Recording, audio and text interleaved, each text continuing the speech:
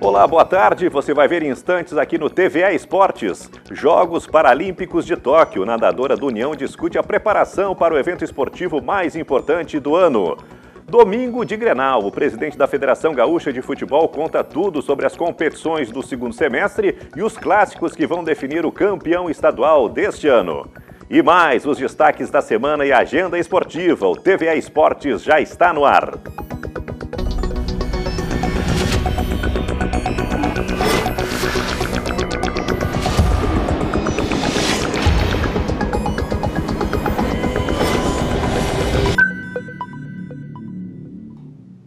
E a gente começa com a decisão do Campeonato Gaúcho de Futebol. Neste domingo, no Beira Rio, o Inter recebe o Grêmio pelo jogo de ida das finais da competição. A vaga colorada veio com os 4 a 1 sobre o Juventude sábado passado em Porto Alegre. Derrotado pelos caxienses na semana anterior, o Inter dependia de uma vitória por dois gols de diferença para se classificar direto, sem cobranças de pênaltis. Ainda mais retrancado que em Bento Gonçalves, o Juventude fechou a casinha, mas no final da primeira etapa cedeu um contra-ataque e Yuri Alberto, que estava há cinco minutos em campo, abriu o marcador. E ainda deu tempo para Maurício ampliar, escorando o passe de Edenilson. 15 da etapa final, Yuri sofre pênalti, VAR marca e Edenilson faz o terceiro. Cinco minutos depois, o Juventude faz o seu de pênalti. Mas Rodinei de cabeça devolve a tranquilidade e fecha a goleada. No domingo, na Arena, Grêmio e Caxias fizeram a outra semifinal.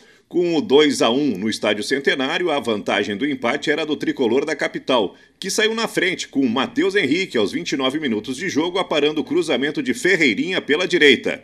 E é do atacante gremista o gol da classificação. Ferreirinha invade a área Grená pela esquerda e fuzila o goleiro Marcelo Pitol. Final, Grêmio 2, Caxias 0.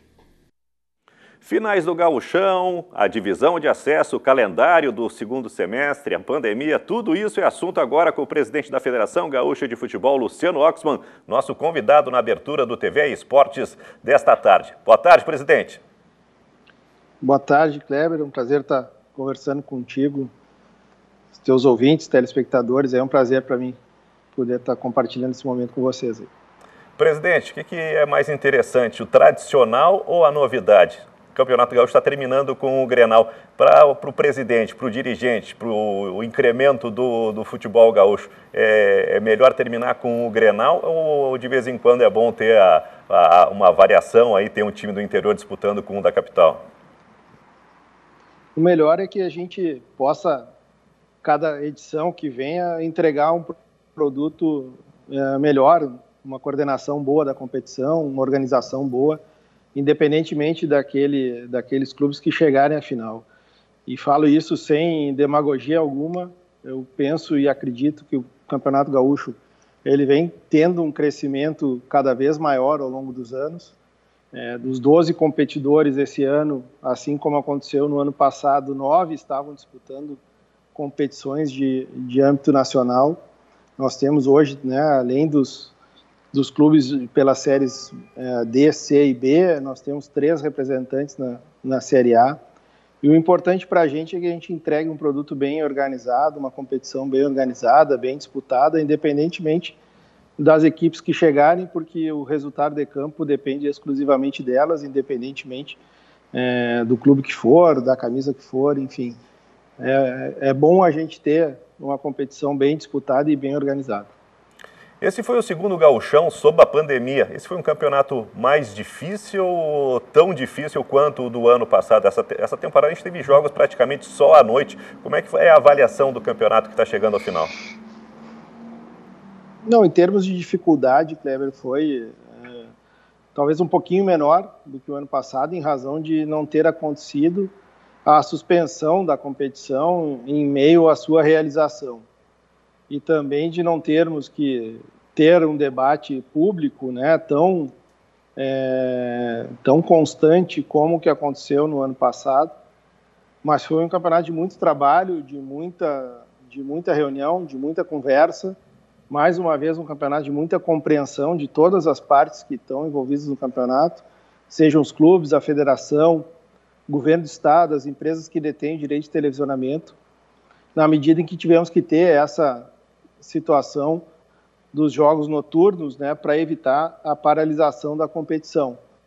Então, toda semana, ainda que não divulgássemos e não tratássemos isso de forma é, pública, nós conversávamos com pessoas do governo, fazíamos alguns movimentos para tentar fazer com que a competição pudesse acontecer nos horários da tarde também, para atender aos nossos parceiros, mas entendendo de forma muito tranquila e muito segura as razões do governo para que o campeonato se, se permanecesse acontecendo com os horários de noite. E felizmente estamos chegando na fase final é, sem nenhuma intercorrência nesse sentido do ponto de vista é, da pandemia. E eu torço muito não pela questão do esporte mas como cidadão também que esse tenha sido nosso último ano aí de de pandemia e que a partir do ano que vem e ao longo desse ano a gente possa ter um pouquinho mais de, de normalidade na condução das nossas questões aqui na federação e enquanto sociedade também. Uma das novidades dessa semana foi a divulgação, a confirmação por parte da federação que no segundo semestre teremos Campeonato Brasileiro Sub-20, aliás, Campeonato Gaúcho Sub-20, a Copinha e a divisão de acesso. Quais as condições que propiciaram a confirmação dessas três competições que não foram realizadas no ano passado? Não, eu acho o próprio cenário é, da pandemia e uma expectativa de que o segundo semestre estejamos uma condição um pouco mais tranquila, ainda de, muita, de muito cuidado, de, muita, de muito respeito e um protocolo ainda muito severo, mas também fundamentalmente pelas consultas que fizemos aos clubes, tanto aqueles que que possuem a categoria sub-20, quanto aqueles que têm a intenção é, de jogar a, a copinha né, e também a divisão de acesso, contando com eles com um comprometimento é, de cumprimento de protocolos, especialmente no que diz respeito ainda a quantitativos e também aos protocolos de testagem é, dos atletas. Eu acho que a gente tem que na federação existe para coordenar competições.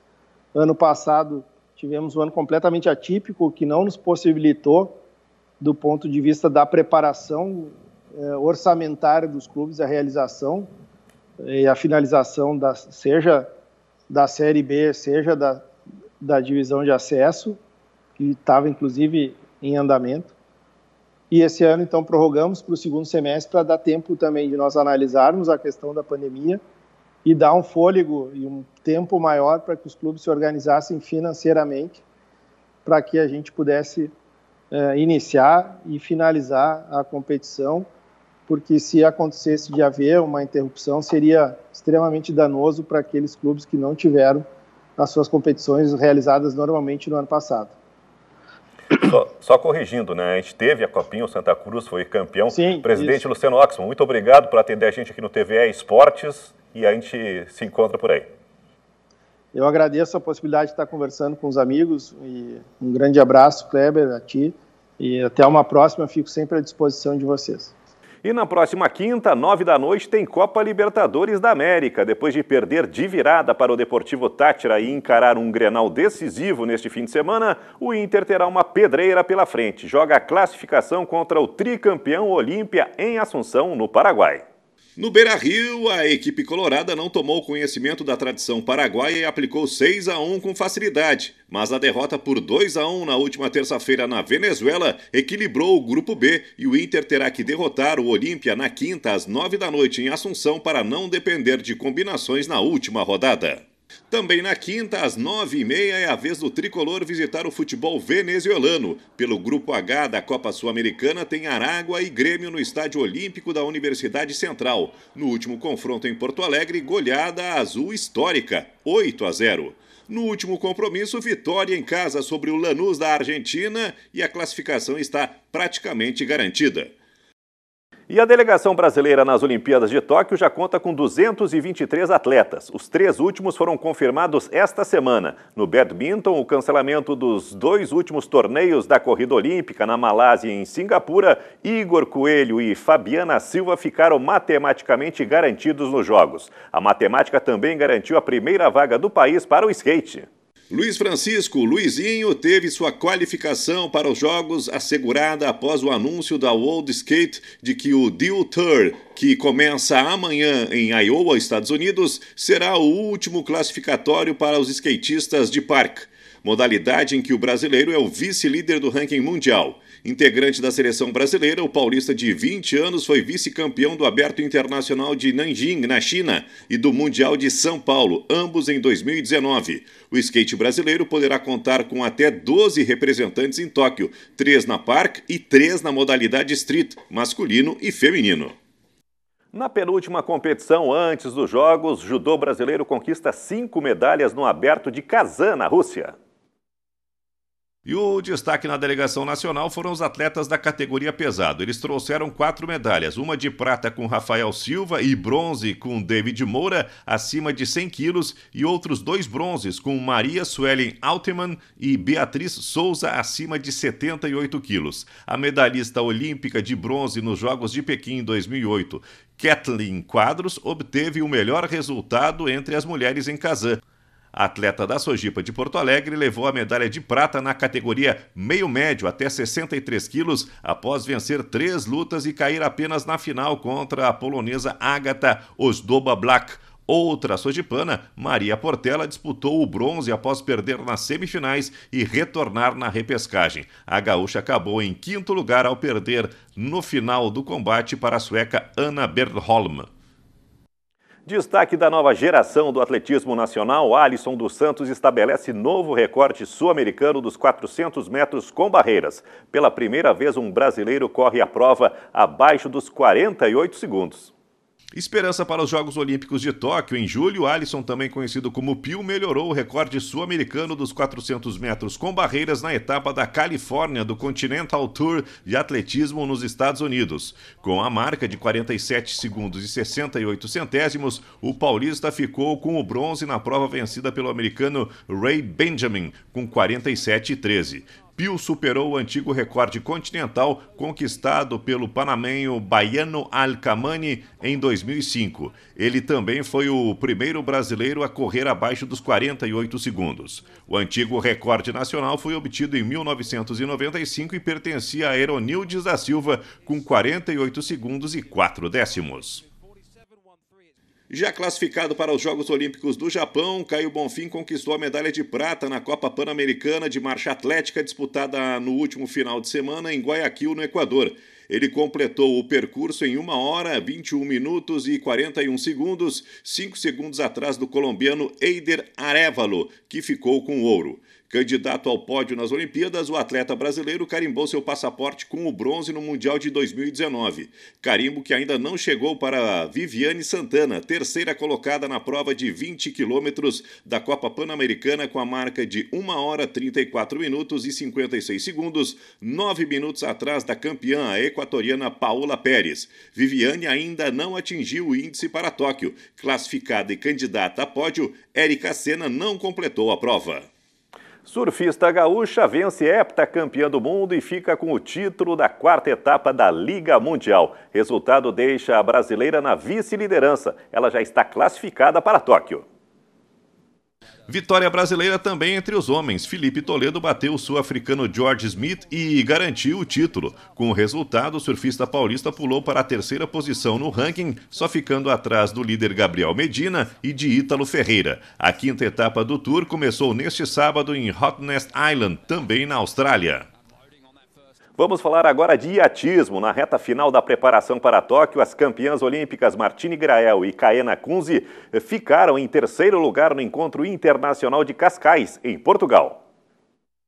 As campeãs olímpicas Martine Grael e Kaena Kunze finalizaram o Cascais 49er FX Championship em Portugal com a medalha de bronze. A dupla brasileira completou a regata da medalha, a etapa final, em segundo. Na soma de todas as 14 regatas, elas acumularam 86 pontos perdidos. Foram uma vitória e três vices como melhores resultados. As vencedoras foram as alemãs Tina Lutz e Susan Boyk. As espanholas Tamara Echegoyen e Paula Barceló levaram a prata. A competição portuguesa reuniu 10 duplas que estarão em ação nas Olimpíadas de Tóquio. Martini e Caena tinham sido campeãs da regata internacional de Lanzarote na Espanha, realizada em março. O Nelson Barro de Guaporé foi palco de quatro competições que abriram a temporada do automobilismo gaúcho e brasileiro no último final de semana. Destaque para as vitórias de pilotos de 14 e 15 anos na classe B da primeira etapa do Campeonato Brasileiro de Turismo 1.4. Competição, válida também pelo Campeonato Gaúcho de Turismo 1.4, teve amplo domínio da nova geração do automobilismo nacional. Na classe A da categoria, as quatro provas foram vencidas pelo Celta de Augusto Rota, de 18 anos. As provas contaram com 40 carros no grid de largada, reunindo pilotos de todo o estado, catarinenses, paulistas, mineiros e goianos. A Super Turismo reuniu 60 pilotos e teve sua primeira etapa disputada em uma prova com duas horas de duração pilotando um Audi, a dupla Arthur Calef Júnior Vitoretti foi a vencedora na divisão GT e na geral, apenas 473 milésimos de segundo à frente da Maserati guiada pelo trio Alexandre Tecchio, Guilherme Dauti e Jefferson Poole. Já a abertura da Copa Classic foi vencida por Fábio Menegaro na classificação geral. A prova foi disputada por 20 pilotos que dirigiram 13 automóveis nas categorias A, B, C e Força Livre. TVA Esportes faz agora um breve intervalo, mas a gente volta logo logo, daqui a pouquinho.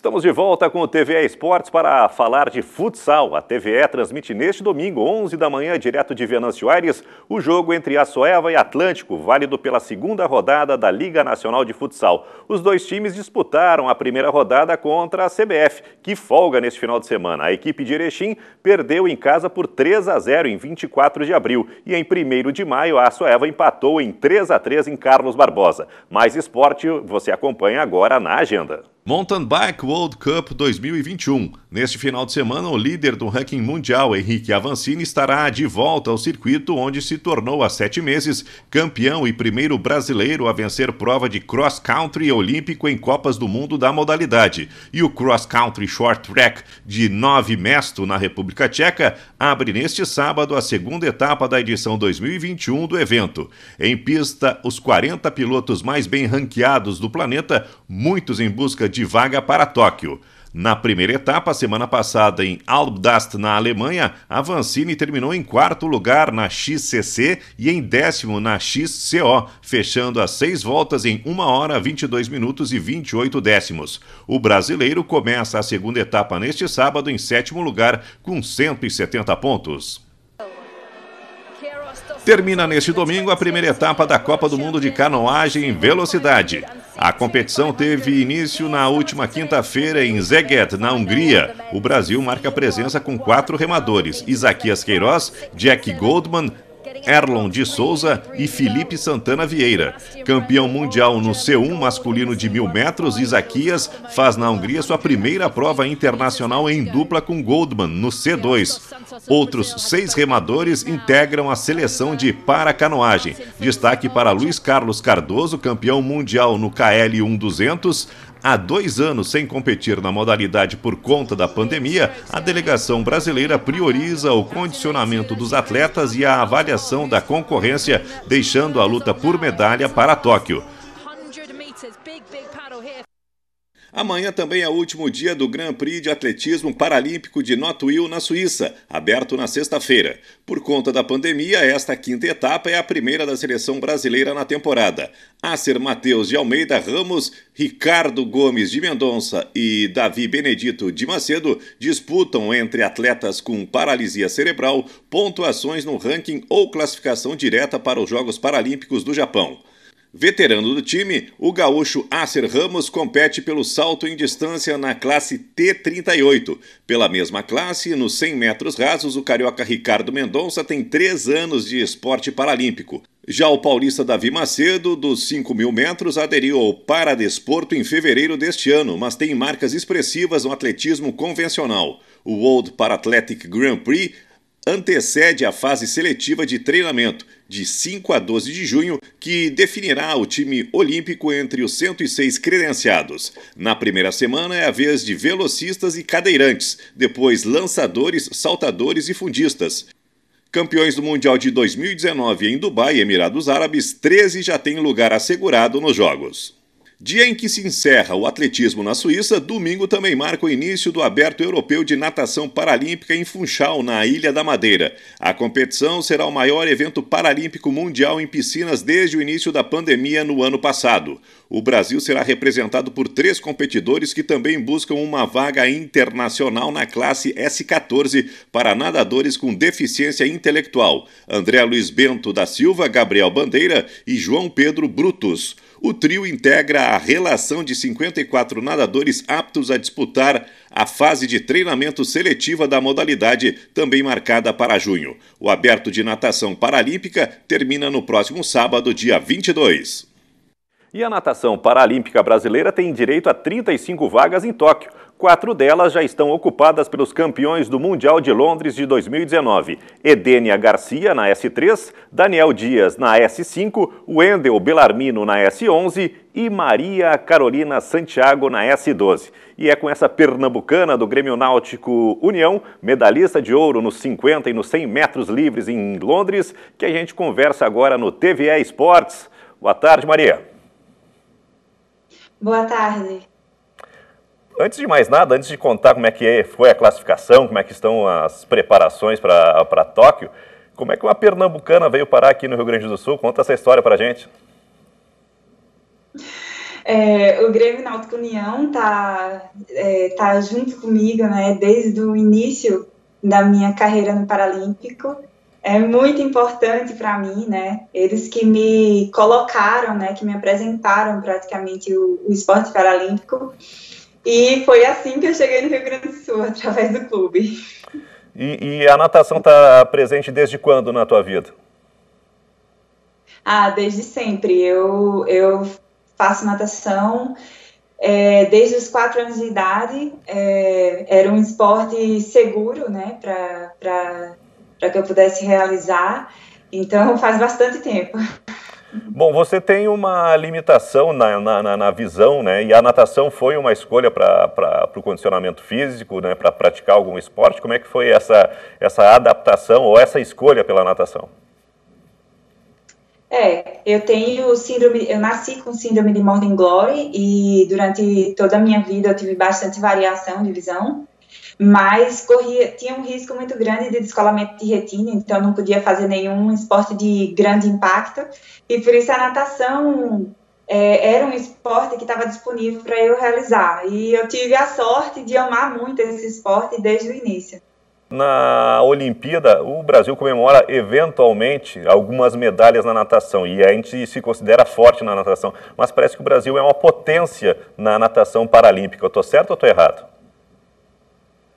Não, você está certo. Eu acredito que o Brasil, ele, pelo, por várias conversas e curiosidades que eu tenho também, que eu falo bastante com, com os profissionais que estão acompanhando há tanto tempo a natação paralímpica, é, o Brasil vem crescendo bastante, né? A gente teve os Jogos Pan-Americanos que foi que foi o maior número de medalhas que, que a gente conquistou na natação e, e, e, a gente vem desenvolvendo, na verdade, uma qualidade maior né, no, dos nadadores. Né? Então, eles conseguiram formar uma, uma seleção cada vez mais forte, né, através da, do trabalho mesmo feito com os atletas e da dificuldade dos índices para se atingir. Para você ter uma ideia hoje, para você estar tá numa seleção brasileira paralímpica, você tem que ter no mínimo o sexto tempo do mundo. Né? Então, é, um, é uma seleção seleção bastante forte que vai para brigar por medalha sim. Como é que está a preparação? É contagem regressiva para Tóquio? Essa contagem regressiva ela já está acontecendo pela segunda vez, né? É, antes das, da pandemia, a gente estava muito próximo né, dos jogos, já estava indo para a reta final de preparação e a gente teve esse, esse encerramento dessa contagem regressiva e aí a gente começou a contar novamente quando voltamos a treinar E a expectativa ela é muito grande, principalmente assim da minha parte, porque eu nunca participei dos jogos, né? E, e a gente sempre escuta histórias fantásticas, né? Da, da competição de mais alto nível, né? Que a gente pode ter no esporte. E com certeza eu estou contando regressivamente para poder estar lá em Tóquio representando o Brasil. Preparação nessa reta final já está definida ou ainda precisa de algum ajuste? Então, a gente vem se preparando forte já, o, a escolha, na verdade, do, da equipe técnica, né, através do, do head coach Leonardo Tomazello, foi de fazer pequenos ciclos, né, já que a gente estava com aquela incerteza tão grande da pandemia. Então, a gente já utilizava ciclos e agora a gente utilizou pequenos ciclos. Então, várias vezes durante a preparação até hoje, a gente passou pelo período de base, período, período de força, período de específico e tomada de tempo. Então a gente fez isso várias vezes, sempre aumentando a carga, sempre, sempre evoluindo, né? Hoje a gente está há três semanas praticamente, né, da, da seletiva, seletiva que eu vou aproveitar como parte do meu treinamento, né? Então a gente vai chegar na seletiva pronto para dar tempo e depois a gente vai utilizar a reta final até Tóquio, que vai ser mais ou menos o mesmo tempo, né, é, que a gente vai ter, que a gente vai viajar já em agosto, para dar os, o, o, o, polimento, né, assim, aquela, aquela, aquele ajeitado final, né, então a gente vai voltar para a força e depois vai polir novamente. Tá certo. Maria Carolina Nogueira, muito obrigado por participar com a gente aqui no TVA Esportes, uma boa preparação e uma grande estreia em Tóquio. Obrigada. Muito obrigada. O TVA Esportes de hoje está chegando ao seu final. Obrigado pela companhia. Relembrando, mais esportes na TVA você acompanha neste domingo, 11 da manhã, com a Soeva e Atlântico de Erechim, o clássico do futsal gaúcho, válido pela Liga Nacional de Futsal. E nós voltamos no próximo sábado ao meio-dia. Até lá!